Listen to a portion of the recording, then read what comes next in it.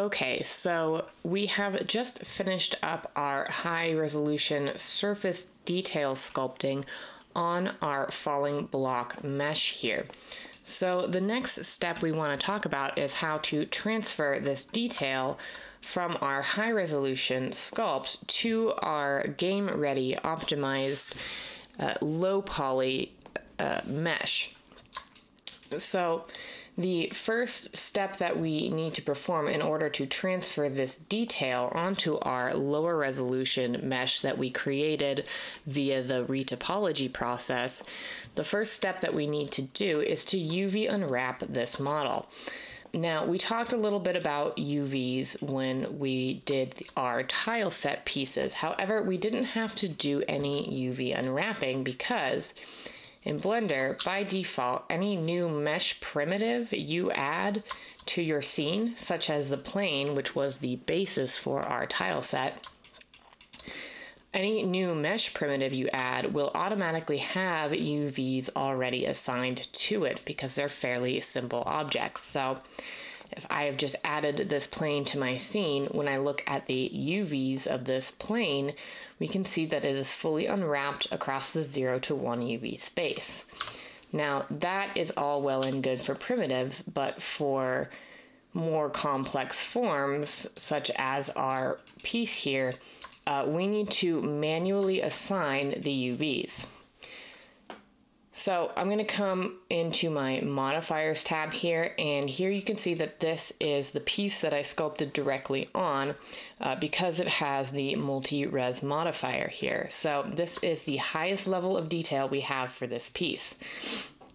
Now, luckily, because we used a multi-res modifier, uh, the low poly information is still retained on this model. So all we have to do here is we're going to change the, uh, excuse me, the viewport level from 6 to 0 to look at the lowest level of subdivision for this piece. So this is actually the level of detail we are going to be bringing into the game, but we need to, just like we did for the tile sets, we need to bake a normal map uh, in order to transfer those high resolution details.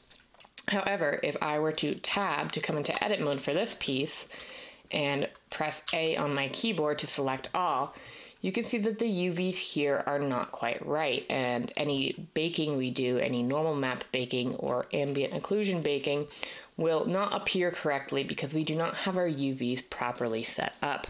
So when dealing with a more complex form, you need to manually tell Blender or whatever program you are using where you want to make cuts into your UVs.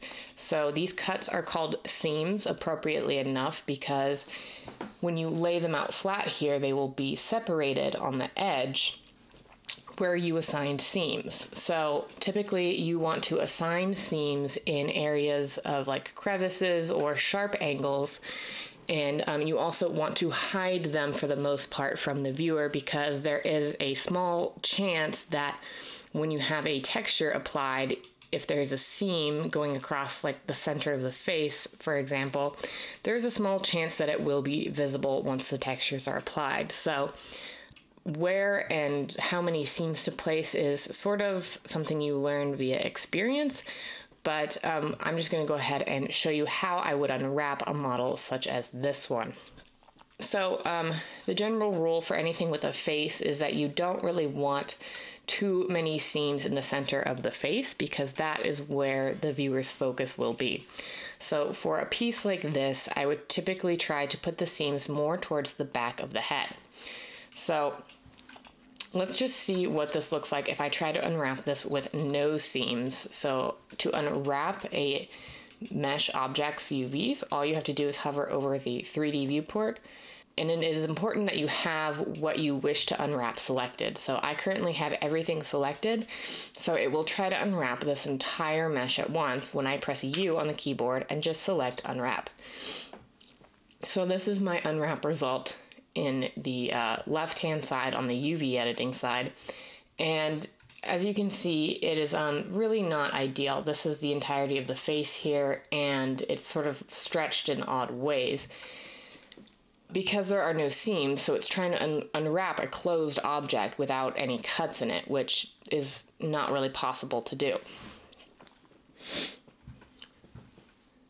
So um, we can visualize the distortion here if you're not ever not sure about uh, whether your wrap is good or not.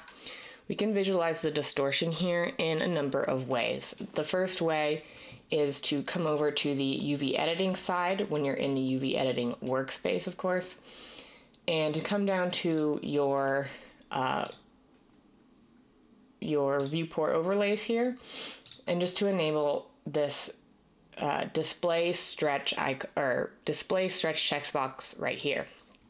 So what this will do is it will render your UV islands in uh, a solid color and dark blue is for areas of no stretch. So if I zoom way in here, a few of these faces are not being distorted at all as you can see from the dark blue. And the closer we move towards red, um, into this sort of yellow section, the more distortion we have in our faces. The other way to uh, visualize distortion is to put a UV grid onto your mesh here. So the way that we would do that is essentially we would just come up onto the UV editing side here and select new. Um, give this image a title such as UV grid uh, 1024 is totally fine. Um, the important thing that you change is this generated type. You want to change it from blank to UV grid. Just select OK. So the texture that has been created is displayed right here on the left. So this is what is called a UV grid. It is essentially just a checkerboard pattern um, that is laid flat in 0 to 1 UV space. Now, how this is useful is when you apply it to your mesh. So I'm going to change my viewport shading to material preview by clicking this material icon here. And then I'm going to come down into the materials tab. I'm going to create a new material. I'm just going to name it UV grid. And uh, for the base color here, um, we can change it from a solid white to an image texture and we can select our UV grid. So this is showing currently how this texture would be displayed on the model with its current UVs. And as you can see, it's a mess, basically. Um, we can't see, discern any sort of grid pattern at all. So we know that these UVs are not gonna work for our purposes. So um, let's talk about uh, where we would want to put seams on this. So marking seams for a mesh must be done in edit mode. So let's just press tab to come into edit mode first. Uh, we can also, we, you can leave up the display stretch if you want, but I like to be able to see the background, so I'm going to disable it for now.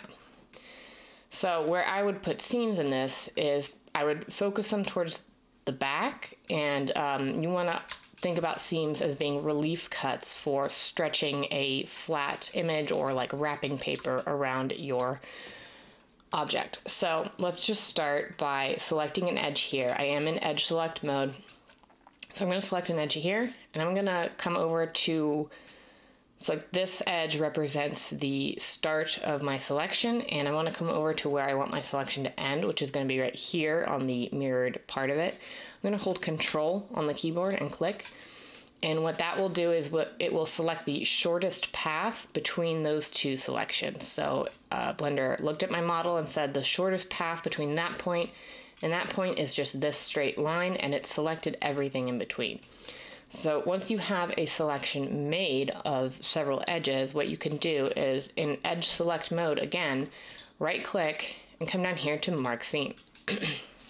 Now, all this has done so far is it has highlighted this edge in red if we click away from it. But what we we can see what it does if we uh, select our mesh again. Um, I'm just selecting every face on here by pressing A, pressing U on the keyboard, and selecting Unwrap. So now you'll see we have a very different result here based on just this singular seam alone. So what we're going to do is I'm going to go over this to show you how I would place seams on this. But basically the goal of this is to get this checkerboard to display um, all its, its checkers as relatively the same size and um, not having a lot of distortion like we are seeing right now with these very large checkers in the front and these very small ones in the back. So we're just going to start adding seams and unwrapping until we get a more uniform result. So I might select this face and come down to here, mark seam, and unwrap it. Already we're getting less stretching over here. I'm going to come across the top here,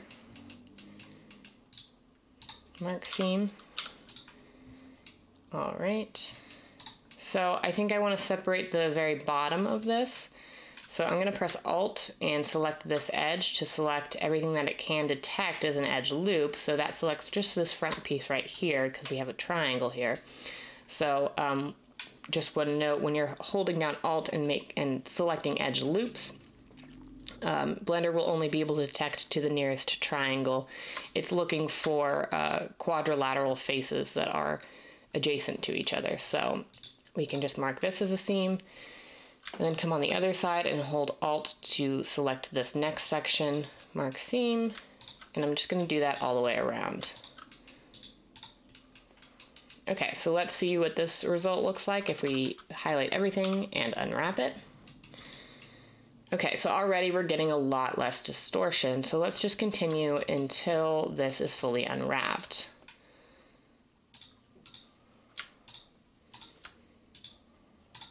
And for symmetrical meshes such as this one, I try to keep the seams symmetrical as well.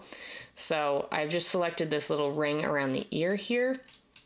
So what I can do now to make sure that I select the exact same um, edges on this side is I can press space to bring up my search and start typing in select mirror.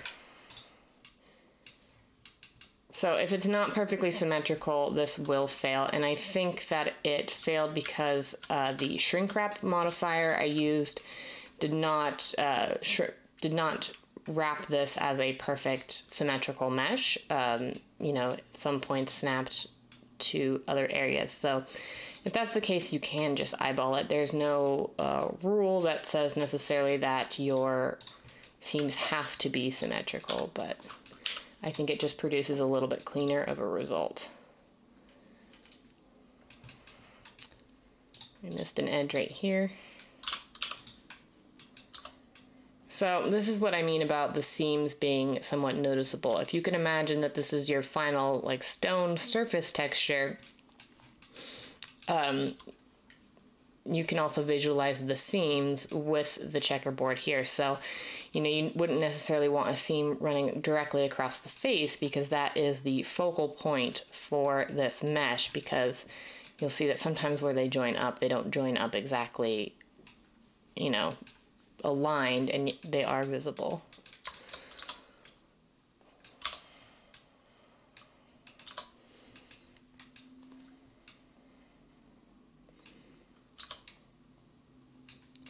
So I think that is sufficient for the purposes that we need this for. So um, I'm going to call it here. I'm kind of panning around here and I'm not noticing any large um, scale changes in my texture. I do have some of these sort of bending and bowing in here, and that is just because this is not a form that uses a lot of straight uh, planes or 90 degree angles. It is more rounded, more organic. So you will get some um, bending and stretching like this here. Um, this, this is okay. It's more important that you get the overall scale of the texture uniform across the entire piece. So um, I'm going to take a break here, and when we come back, we're going to talk about how to bake our normal maps and our AO maps for this piece.